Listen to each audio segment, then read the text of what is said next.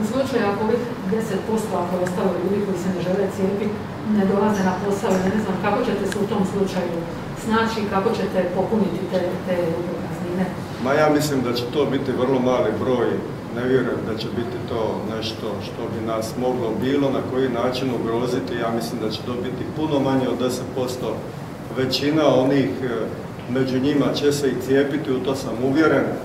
a ove ćemo neke testirati onoliko koliko to bude trebalo i ja mislim da će na kraju to biti bez značajnijih teškoća.